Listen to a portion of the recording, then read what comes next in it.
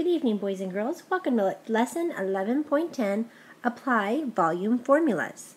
Our essential question is, how can you use a formula to find the volume of a rectangular prism? Go ahead and turn in your Go Math book to Lesson 11.10. In the last few lessons, we've been finding volume by using our unit cubes. And we've been putting them together to create rectangular prisms to find the volume of a rectangular prism. And we've been noticing that when we do length times width times height, you find the volume. Length times width times height is our formula, L times W times H. Well, as you can see here, both prisms show the same dimensions and they have the same volume. You just don't see it in unit cube form. So we would still have 4 times 4, which is 16, and then you would multiply it by your height, which is 3. So another way to do this is to find the base. Now do you see this B right here? That stands for base. Okay? Now think about this. 4 times 4 is 16 cubic inches. Now, if you look over here, this 4 times 4 creates my base. The base is what your rectangular prism is on. That's we can consider it like a bottom layer because it's the base. So if you look at this whole rectangular prism without showing the cubes, you can still find the volume using the formula. But we can not only just do length times width times height, you can find your base, which is your length times width, which would be 4 times 4. And then you can multiply that by your height, which in this case is 3. So I can mentally find the base by multiplying my length times width, which is 4 times 4 to be 16. So I'm going to write 16 right here because that's my base.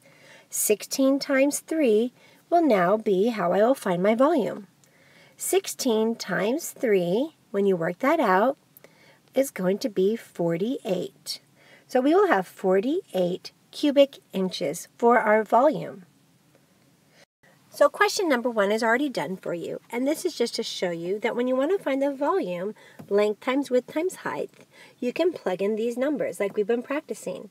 My length is going to be 6 feet, my width is 2 feet, and the height is 3 feet. Now if I would like to use my associative property, I'm going to group to find my base. My base will be 6 times 2, which is 12. And we all know 12 times 3 is 36. Now this is measured in feet, and because this is going to be the volume, we're going to make a 3 as an exponent because that stands for cubic feet. So look at number 2. As you can see, our volume formula is length times width times height. So I want you to pause the video and I want you to find the volume of this rectangular prism and then we'll check it together. Go ahead and press pause now. Okay, for this one you should have found the base, which would be your length times width, which would be 2 times 2, and I know that's going to be 4. And I'm going to multiply that by 5, which is going to be my height. 4 times 5, you should have said is 20. Now this is measured in cubic inches. So our volume is 20 cubic inches. Okay, for number three, I want you to go ahead and find the volume by following the formula of length times width times height. Now remember, when you multiply your length times width, that's finding your base, and then you'll multiply that by your height. Go ahead and press pause now. Okay, for this one you should have plugged in 5 for your length, 5 for your width, and 5 for your height. And then, when you found your base, which is your length times width, you should have 25 cubic centimeters. Now you should multiply that by 5 centimeters because, as you can see, it's 5 centimeters high. It's like you have 5 layers of your little cubes. Okay, so we're going to have 25 times 5. And we all know 5 times 5 ones is 25 ones. Regroup my tens.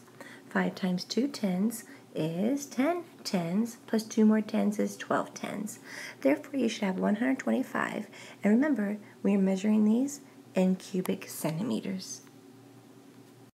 If you are feeling like the expert, go ahead and press pause and solve this one on your own. If you're not and you want the guided practice, continue listening. All right, boys and girls, you should have done length times width times height for your formula.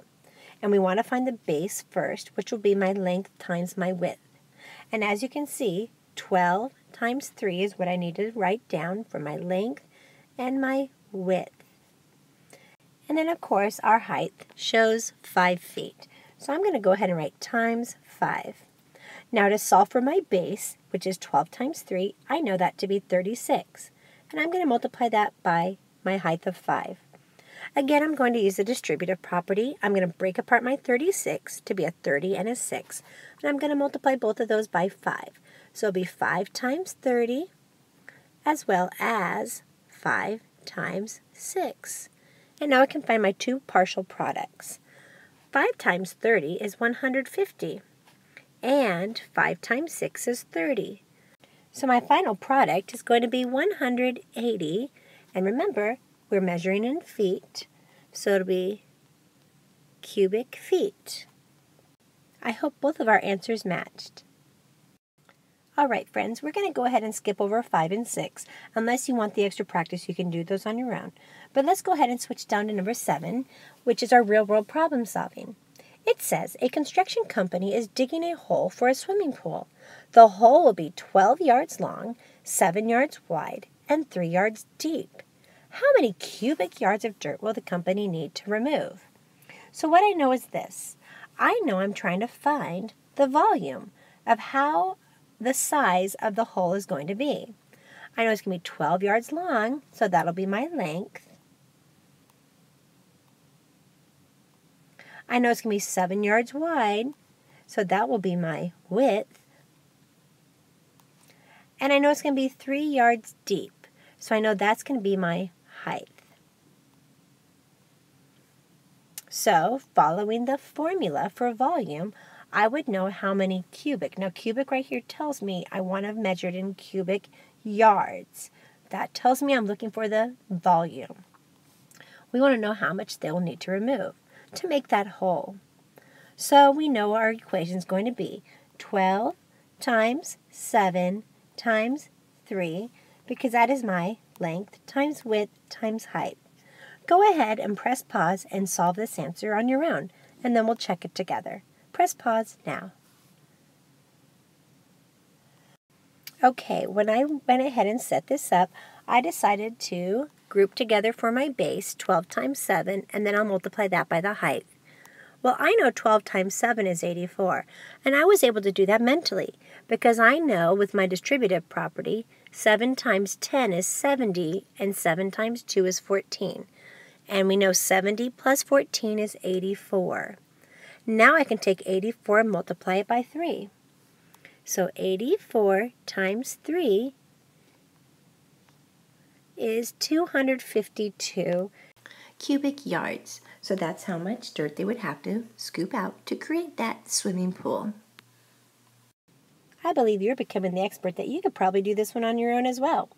It says Amy rents a storage room that is 15 feet long, 5 feet wide, and 8 feet. I'm assuming that means 8 feet high. What is the volume of the storage room? So what we know is it's 15 feet long and 5 feet wide. That would be my base. And it would be 8 feet high. And that would be my height. Go ahead, press pause, and find the volume of this storage unit, and let's see if we match. Go ahead and press pause now. Okay, for your base, you should have said that you had 15 feet by 5 feet, which gave you 75 feet, and you're going to multiply it by 8 feet to get your height. So 75 times 8, I'm going to go ahead and do my distributive property. I'm going to break apart my 75 and do a 70 and a 5, and I'm going to multiply both of those by 8, my height, to find my volume. So 70 times 8 plus 5 times 8. Okay, 70 times 8 would be 560 because 7 times 8 is 56 and we put our zero down. Now let's work on the second partial product. 5 times 8 is 40. Now, 560 plus 40 would give me 600. Now remember, this is found in cubic feet. That's like saying that you had 600 boxes in that storage unit that were each one foot by one foot by one foot. You could actually fit 600 in there perfectly. All right, let's move on to homework questions on the back side. So your two practice problems will be for you to practice. That'll be similar to what we just studied on this video. Go ahead and do number one and two on your own to find the volume of the two different items. And also don't forget to do questions three through six on your own for spiral review.